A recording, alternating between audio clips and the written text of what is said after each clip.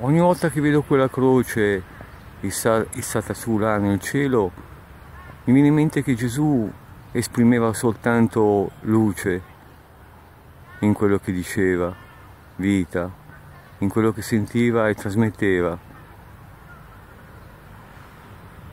Perché hanno voluto mettere un cadavere su una croce per ricordare Gesù? Che era, poteva essere simile a un sole, una stella, non certo ad un morto. E poi pensando mi viene in mente una cosa, ma chi l'ha crocifisso? Chi l'ha ucciso Gesù? Gli uomini.